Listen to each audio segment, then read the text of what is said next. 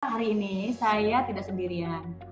Saya yes. mengundang salah satu teman sejawat saya langsung ya. dari kebetulan beliau sedang di negeri Arab saat ini. ya. Dubai apa di Abu Dhabi nih Kasamenta? Mana Kasamenta? Ya. Halo di Dubai Mbak Vera. Ya, di Dubai ya. Join di sini sudah bersedia untuk join in sama-sama bercerita, berbagi tentang melewati proses-proses forgive, forgiving. Karena memaafkan tuh nggak pernah mudah. Kadang-kala kita pikir kita udah maafin, ternyata enggak gitu ya. Kasamenta ini orangnya cerdas banget. Yang saya suka dari Kasamenta sejak awal bertemu adalah dia cerdas. Dia tertarik yes. dengan ilmuwan dan mendalaminya secara mendalam gitu ya. Dan uh, she's into it gitu. Terima kasih Kasamenta. Ya, terima kasih Mbak Vera. Senang sekali hari ini bisa uh, berkolaborasi dengan Mbak Vera. Juga uh, tim-tim dari manajemen Roslina Feraoli, terima kasih sekali sudah bekerja sama mempersiapkan hari ini. Dan terima kasih juga untuk seluruh partisipan, peserta. Uh, terima kasih sekali di hari ini kita bisa belajar untuk uh, mengenal proses-proses dari psikologi memaafkan. Nah, pertama saya akan menjelaskan ada satu uh, statement yang disebutkan oleh Richard Moore. Ini sangat indah sekali karena forgiveness is a gift you give to yourself. So hari ini kita sudah memberikan hadiah kita untuk diri kita sendiri melalui memaafkan. Hadiah ini menjadi satu paket yang utuh yang menyenangkan diri kita, yang membuat kita kembali ke titik netral kita menjadi manusia. Apa arti memaafkan sebetulnya? So, memaafkan menurut uh, Seligman, salah satu tokoh yang sangat uh, terkenal di forgiveness uh, psychology, ia mengatakan bahwa memaafkan merupakan kekuatan manusia karena memenuhi kriteria yang berkontribusi kepada pemenuhan individu, kepuasan diri, dan kebahagiaan ilahi. Ilahi ini kalau di Indonesia tuh uh, kayak ada koneksi kita dengan spiritual kita. Okay. Kita merasa benar-benar plong, hidup kita benar-benar ringan sekali. Sangat ringan. Kita jadi lebih ringan karena kita sudah membebaskan perasaan yang membelenggu diri kita dan memaafkan menghasilkan emosi positif, kesadaran diri dan penuh insight, potensi, limitasi dan tantangan diri kita kita tahu bagaimana cara mengukurnya dengan lebih bijaksana. Juga kita memiliki satu kekuatan untuk mengintegrasi antara coping stress, bagaimana kita mengelola stres-stres atau tekanan yang hadir dalam hidup kita, dan juga kita masuk dalam periode resiliensi. Sekian dari saya. Terima kasih Kak Sam. Tadi sangat menggugah sekali tentang bahwa hari ini Anda akan menganugerahi diri Anda dengan hadiah yang membuat diri Anda lega secara emosional, membuat diri Anda lepas dari perasaan-perasaan marah, sedih, sakit hati, dendam, yang menjadikan skema pada diri Anda. Ya, akan mereview kembali. Benar nggak cara kita melihat sesuatu? Benar nggak cara kita melihat ke masa lalu? Benar nggak cara kita menghayati orang tua kita? Teman-teman yang pernah nyakitin kita backstabbing dari belakang. Saudara-saudara yang mungkin perlakuannya unfair. Anak-anak yang terabaikan. Perselingkuhan dari orang tua yang semua akan sangat menyakitkan. Hingga perselingkuhan pasangan. Akan ada banyak ya yang akan kita modifikasi kembali kalau Anda ready. Nah, hari ini kita mau kasih diri kita hadiah. Kita ingin mencapai personal freedom. Mudah-mudahan siap. Open your gift gitu. Open your gift dengan membuka slideshow pertama saya. Apa isinya? Ya, ini gift pertama untuk diri Anda sendiri sebetulnya. Karena nggak ada standar emas tentang memaafkan, ya Anda nggak mesti dituntut untuk minta memaafkan sekarang kok. Anda juga nggak perlu menuntut orang lain untuk minta maaf sama Anda prosesnya subjektif, adanya di dalam sini. Orang lain mau minta maaf atau enggak, itu terserahnya dia, itu masalahnya dia gitu. Masalah Anda adalah, apakah Anda bersedia memberi hadiah buat diri Anda untuk gak bawa-bawa penyakit-penyakit hati yang dampaknya ke fisik Anda dan dampaknya dalam relasi Anda ke depan karena Anda terlanjur trauma.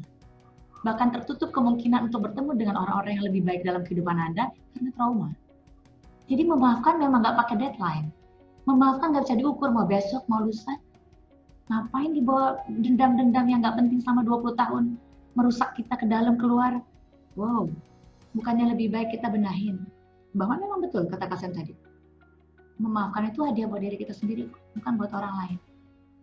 Bisa saja kita nggak berdamai lagi, ya. Saya sebutkan saja contohnya misalnya begini, karena bukan klien saya, tapi kan semua masyarakat tahu nih gitu ya. Misalnya bahwa ada kejadian uh, uh, yang paling pesohor di negeri lah, misalnya kayak kejadian ya Sudahkah memaafkan uh, teman duetnya dulu? Sudah. Tapi apakah mereka berteman lagi? Enggak. Karena memaafkan memang bukan enggak mesti harus berteman kembali. Kita kasih batasannya. Jadi, kalau kita nanti akan masuk ke proses memaafkan, ada keseimbangan yang terjadi di dalam diri Anda. Bayangkan diri Anda itu seperti sebuah segitiga sebetulnya, gitu ya. Nah, si segitiga ini adalah Anda dalam bentuk isi pikiran Anda, dalam bentuk emosi yang Anda rasakan, lihat tangan saya, dan dalam bentuk aksi-aksi yang Anda lakukan. Kalau kita sudah sampai di level memaafkan, cara kita mandang situasinya jadi beda. Klien saya yang kemarin, um, beliau di akhir usia 20-an, si klien saya punya keluhan tentang orientasi seksualnya, dan ternyata papinya nggak sengaja. Ngobrol ke omnya ketika omnya menanyakan ada isu yang mulai beredar bahwa anaknya gay gitu kira-kira. Ya akhirnya apa yang dia rasakan? Ya dia marah sama bapaknya dia benci dia lagi marah sekali dia sangat terpuruk. Ketika dia mengubah skema melalui psikoterapi bahwa apa yang dilakukan ayahnya adalah sebuah discussion mendalam untuk memperoleh solusi atas suatu situasi ya bahwa ayahnya mungkin nggak punya knowledge. Mana area rahasia mana yang enggak? Bahwa ayahnya butuh punya power over him karena terbiasa untuk punya power over everything gitu. Sehingga bisa. Buka rahasia anaknya ke saudaranya sendiri gitu ke uncle-nya gitu kira-kira. Ketika mengubah skema ini ya klien saya lebih mudah untuk memahami ayahnya gitu. tiba-tiba dia lebih mampu berempati tentang ayahnya jadi perasaan tentang segi segitiga tadi, kalau Anda lihat segitiganya tadi, ya perasaan si klien tentang ayahnya ya dia mulai berempati dengan ayahnya. Seiring dia mampu berempati dengan ayahnya, mengubah skema bahwa iya ya bapaknya nggak punya knowledge, jangan-jangan nggak ngerti mana yang rahasia mana enggak. Ya, itulah memaafkan. Part of himself suddenly berubah, terus memaafkan. Itu sebab saya akan mengajak Anda untuk masuk melalui level-level memaafkan namun, lebih dulu kita paham kenapa kok sukar banget memaafkan. Kok susah ya memaafkan masa lalu, memaafkan orang tua. Ingat, apa yang bikin kita sukar memaafkan? Ya, di materi Anda, Anda lihat. Ya karena kita nggak mau jadi korban lagi, enak aja gitu. Udah kejeblos sekali, nggak mau dua kali. Sehingga Anda sangat hati-hati sekali tentang ini. Nah, apalagi berikutnya, Anda bisa lihat di sana, kita nggak mau terlihat lemah, ya kan kayak maafin tuh kayaknya lemah kita yang lemah kita yang salah atau gimana? Itu kan kita maafin gitu kan kira-kira. Egonya kita lagi besar tuh waktu itu. Ya kita merasa bahwa ini nggak adil nih kayak gini. This unfair. Saya nggak bisa nih kayak begini. Cuma ada orang yang memang menikmati periode mereka jadi victim. Playing victim all the time karena nikmat. Nggak usah bertanggung jawab. Kan jadi victim jadi korban. Kita nggak perlu bertanggung jawab. Oke okay? kita akan masuk ke fase-fase memaafkan di fase pertama, kalau Anda lihat di sana, namanya uncover. Kita lagi mau explore rasa-rasa yang kita punya. Kita akan explore rasa sedihnya. Iya ya, seberapa sedih. Nah, untuk agar selalu terkendali, kita butuh untuk selalu leveling. 0 sampai 10, apa ya yang dirasakan? Jadi terkendali ini karena kita jadi rasional jadinya. Kita merasakan sisi emosional tanpa terlepas dari sisi rasional. Dan yang paling sulit adalah level uncovering fase ini karena kebanyakan orang suka jump up, ngelewatin. Itu saking sakit banget, Anda mengabaikan rasa sakitnya, dikesampingkan. Anda tutupi, makanya nanti keluarnya karena disimpan ke alam bawah sadar, dikesampingkan, di repress, keluarnya nanti in random.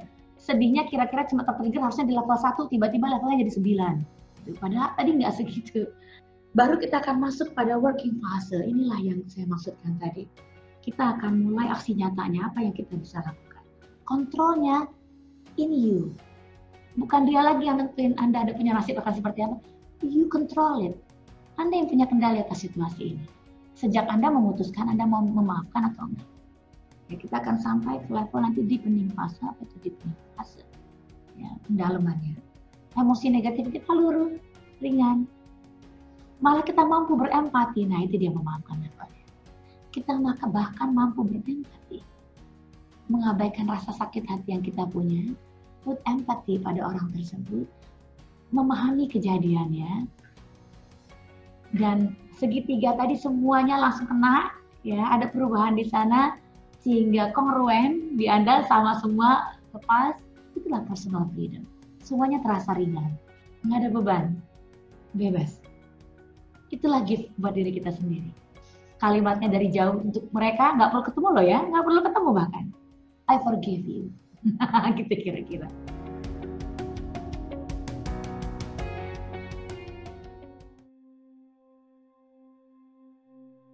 Ya kita ngobrol ya. Uh, unmute ya. Ya. Nah um, ya.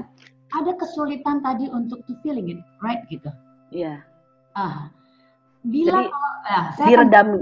Hmm, sekarang saya bantu ya. Coba kita ambil satu contoh saja apa rasa yang waktu itu nggak nongol padahal anda berharap rasa itu muncul dalam kejadian apa masih ingat wah jadi pengen nangis kalau gini iya baru saya tanyakan pertanyaan tentang Iya. Ya, reaksi yang muncul adalah uh, crying. Artinya ada terlalu banyak sadness. Karena crying adalah bahasa faal, bahasa fisiologis tubuh untuk perasaan sedih. Sehingga pada yeah. saat munculnya random keluar, random, artinya di level unconsciousness, di level alam bawah sadar, ada so many sadness gitu. Yang sedang gagal, sedang di put aside supaya nggak muncul, being repressed untuk nggak muncul keluar. Ini pertanyaannya gini, how I feel. How do you feel? Seberapa sedih? 0 sampai 10 saya bantu untuk lebih objektif, ingat. Sisi emosional kita bantu untuk agak seimbang dengan rasional. Zero to ten, ada di level berapa? Karena biasa memendam, saya pun nggak tahu gitu loh. Pun bahkan untuk untuk tahu boleh sedih nggak sih? Itu kayak boleh sedih nggak sih? Gitu. Karena dari kecil udah dibilang nggak boleh sedih. Harus kuat harus kuat itu terus. Itu jadi akhirnya seni memendam dan akhirnya suka merasa nggak pantas untuk merasakan hal-hal yang lemah ini gitu loh akhirnya jadi untuk ditanya level akhirnya jadi bingung ini level berapa ya jadi saat anda mau sedih otak anda langsung mundur ke fase di mana dulu waktu kecil anda dikatakan gini gak boleh sedih kamu harus kuat dia muncul ke depan sini padahal anda sedang exaggerate dengan kesedihannya, sedang pengen sedih banget.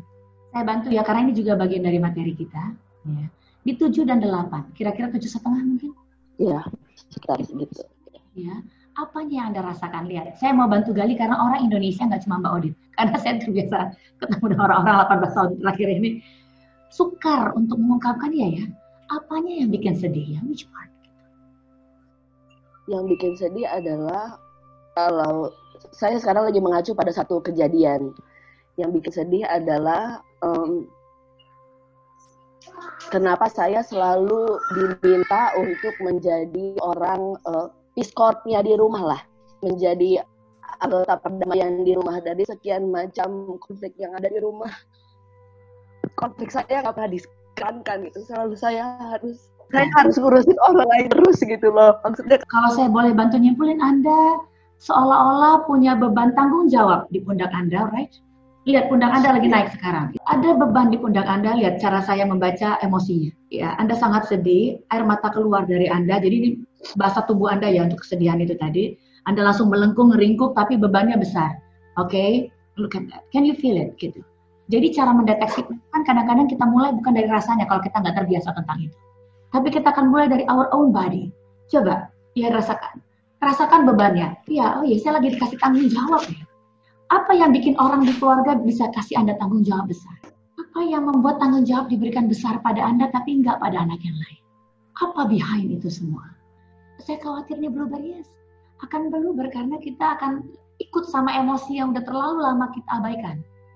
Kesalahan kita dalam memaafkan adalah kita mengabaikan feelings. Thank you Kak Sam, thank you so much. Thank you loh semuanya yang saya nggak sebutin sampai satu persatu, ya harus 90 nama. Thank you so much. Sampai ketemu, bye. Terima kasih banyak semuanya.